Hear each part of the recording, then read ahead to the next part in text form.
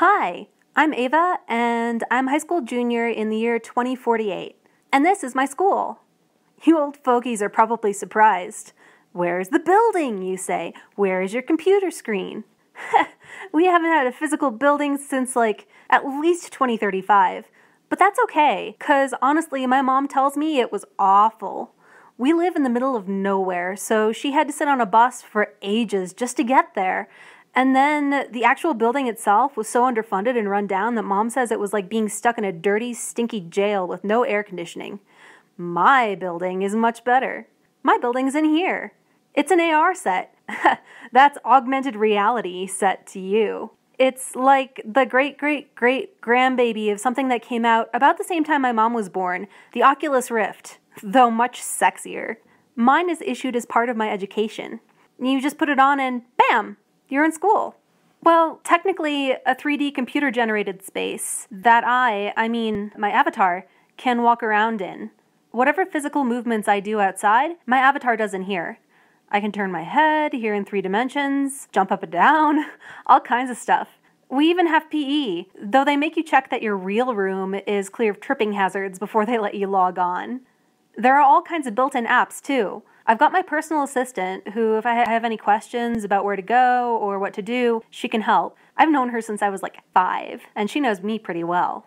I've got dictionaries, an encyclopedia, an anatomy model, my coding reference library, and of course, my assignment Dropbox. My classmates? Most of them are also in Colorado because it's the state system. I've never met any of them outside though. They're all about my age. I heard that researchers figured out it's socially beneficial or something for us kids to learn with our peers until we reach college. Which isn't to say that I only learn with kids my age. We go on all kinds of trips and meet everyone from kindergartners to PhDs, even old fogies like you. We get to work with them too if it's something we're interested in.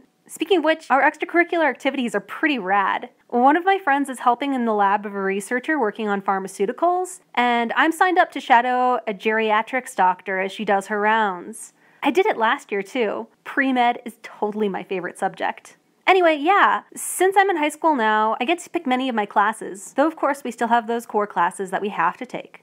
Let's see, this semester I'm taking all kinds of cool stuff. First thing in the morning, I have social studies. Last week we got to do an AR reenactment where we visited ancient China during the Three Kingdoms era, which is pretty cool, really different. Then, second period is chemistry. Our avatars get to play with simulated chemicals. I bet that it's as good as the real thing. Then, third period is math. I'm at the highest level in our system, so next year I could take a university level class if I want to. On Monday and Wednesday, Friday, fourth period is geography. We go on field trips most days and get to meet other students from all over the country and the world. We also create our own presentations to show visitors what it's like in the great state of Colorado.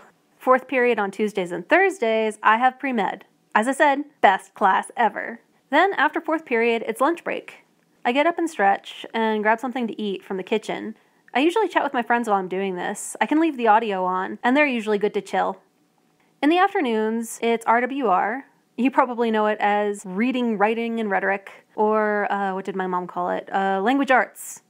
Right now, we're exploring Gilgamesh, which I totally don't get, but Mrs. Gonzalez is okay.